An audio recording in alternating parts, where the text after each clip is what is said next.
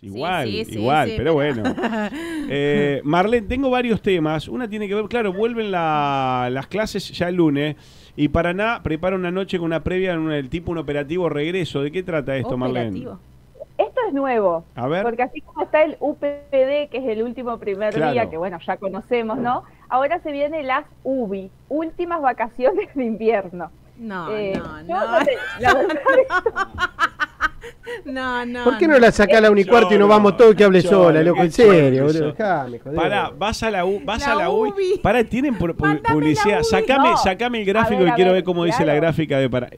Para Municipalidad de Paraná lo auspicia. Vas al, al, al UBI, ul- Claro. último día de vacaciones de invierno. Falta la D entonces. ¿Cómo última vacación de es invierno? No. últimas vacaciones de invierno. No, a ver, esto es una movida que hay por parte de los estudiantes de colegio secundario Está que se organizaron para este domingo por la noche juntarse en la costanera de Paraná, en el Ajá. balneario Thompson, bueno, en los lugares de siempre, para eh, hacer esta celebración, las UBI, últimas vacaciones de invierno. ¿Qué hace el municipio? O- para enmarcar el operativo de seguridad que va a haber este domingo a la noche, hace esta publicación tomando la, la sigla, no tomando la referencia de las UBI.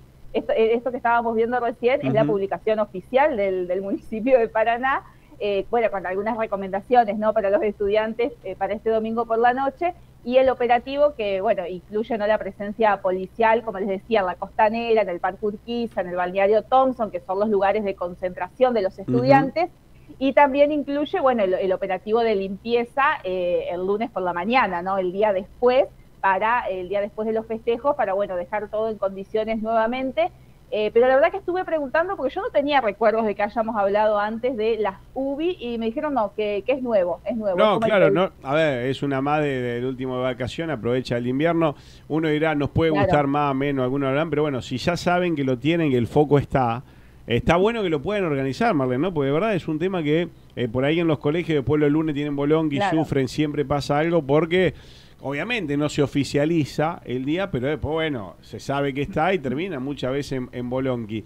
Paraná se prepara y medio como que arma un lugar, ¿eh? Como decir, che, no queremos que Sí. tome de Navidad, pero abrimos la costanera, no pueden entrar autos, cerramos, ponemos seguridad y todo, como para que lo hagan ahí, qué sé yo. Exactamente, el corte de tránsito, Claro. estén funcionando los baños públicos y bueno, y la limpieza no al otro día. Es como el, el UPD de los creadores del UPD. Claro, llega el UBI. las UBI.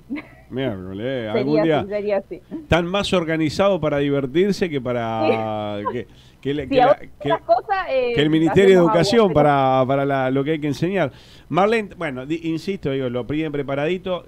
Nos gustará más o menos, voy viendo lo- los mensajes de la gente, pero bueno, como saben que va a pasar, por lo menos lo Claro. preparan, ponen seguridad, etcétera. Eh, lo que quieren implementar en el, en el hospital de Entre tiene que ver un, una central de camilleros. ¿Qué sería una central de camilleros? Bueno, estos sí que no están organizados. eh, Ah. Es un reclamo que viene ya hace tiempo y un pedido que, bueno, que prosperó ahora, que llegó al Ministerio de Salud y que se va a discutir en la próxima paritaria sectorial de salud. El objetivo es que cada hospital de la provincia, sobre todo aquellos que son más grandes, que son hospitales de referencia, eh, cuenten con una central de camilleros para que no sean los enfermeros, como ocurre hasta ahora, quienes eh, lleven adelante estas tareas, que se pueda dividir el trabajo y que los enfermeros puedan ocuparse, bueno, solamente de las tareas que, que- que les O corresponden. sea, un es camillero, claro, que no, no, que no tenga, no tenga ser un profesional de la enfermería, digamos. Exactamente, exactamente. La idea es empezar primero por el Hospital San Martín de Paraná, que es el donde nació esta propuesta y el hospital que primero eh, manifestó esta problemática, porque es un problema hacia el interior de la organización, no del centro de salud. Después se busca avanzar con el Hospital San Roque de Paraná, que tiene camilleros, pero que no están organizados en esta figura de la central que, quiere eh, hacer efectiva este proyecto. Y después sí avanzar con los hospitales de Concordia, Concepción del Uruguay, eh, que son los otros hospitales de referencia que tiene la provincia de Entre Ríos. Y después sí, de manera ya progresiva, ir avanzando eh, sobre los hospitales más Está bien, chicos. una, una- eh, una en especie de función asociación de camilleros, un gremio de Exacto, camilleros, vamos a llamarle Exacto, gremio de camilleros. Hacia, el interior de los hospitales, exactamente. Ese es el, el proyecto que ya tiene fecha para ser discutido el 24 de julio. Eh, de. Marlene, eh, y otra vuelven ellos al tapete, vuelven ellos. eh, hablo de Concordia. Eh, choca el tren con un camión, Carlos, escucha.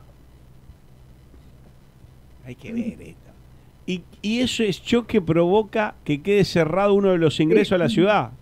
No te lo puedo Sí, creer. sí, sí, sí.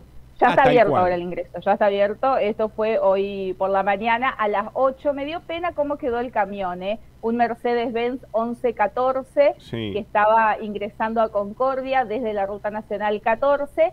eh, y bueno, un tren de Argentina Cargas eh, que estaba ingresando a Concordia eh, lo choca. Es un camión que llevaba mercadería, tipo de almacén, porque se ven botellas, eh, bueno, mercadería de, de todo tipo. eh, sin lesionados, al conductor del camión sí lo trasladan al hospital, pero eh, para control y por un golpe que tenía, pero nada de, de gravedad. Y claro, la avenida, porque es una de las avenidas de ingreso a la ciudad de Concordia, estuvo cortada gran parte de, de la mañana, bueno, hasta que removieron Ujú. la formación, el camión y, y Mirá cómo demás. quedó ese, ese camión Y ahí. el camión ahí se me da, ve. me da pena cómo quedó. Acá ahí se ve más de frente, de costado me veía de frente, quedó hecho percha, parcha. Sí. Bueno, no hay, que, no hay que lamentar víctimas fatales, Marlene. No, no, no, no, no, solo el chofer tenía un golpe en la mano, pero no, nada de gravedad. Marlene, eh, le, le voy, a, voy a volver al pulpo Marlene. Ol- no sabe, Carlos lo pone. Olfatea resultado de Colón mañana. Usted muchas veces tenía una. La verdad que fue fuerte para, para Colón. Tuvo Sí. muy buenos momentos. ¿Olfatea? No, no, no sabía que jugaba, perdón. Está bien. Estoy desconectada de la información. A ver si me baja el dato. Si le baja el dato, nos escribe y si es muy negativo, ni mande nada. No mande No, nada. no, no tiene- Na- ni mande si no nada. ¿Sabe qué? No mande nada porque ahora cuando no llegue nada, Carlos va a decir, vos Ah, sabés que a esta le bajó el dato y no lo quiere largar. Y va a estar caminando nada, por bueno. las paredes del señor Carlos. Bueno, Marlene, le mando un beso fin de semana. ¿Dónde lo pasa? Eh, me estoy yendo a Chajarí. eh, están mis papás acá que llegaron hace un ratito. eh, Ah, se van en almorzamos grupo. y nos vamos. Sí, nos vamos en patota. Ah, bueno. No, es tremendo. Tremendo, boludo. Estoy viendo la imagen de la Es chilindrina. tremendo, boludo. No, boludo, no puede, no puede haber tanta maldad por un lado y otro es una cosa increíble. El saco es rosado. No sé, lo deben ver ustedes más oscuro. No, lo vemos rosado, pero el verde, Ah, lo ah. es que casi un combo, eh, un combo. Si le metes ahí, si alguien le puede pe- pequear el cachetito directamente, eh, pasa de ver 14 meses de renta. Un beso, Marlene, pasen el saludo a sus papás, eh. Buen fin de semana. Un beso. Chau, chau. Ay.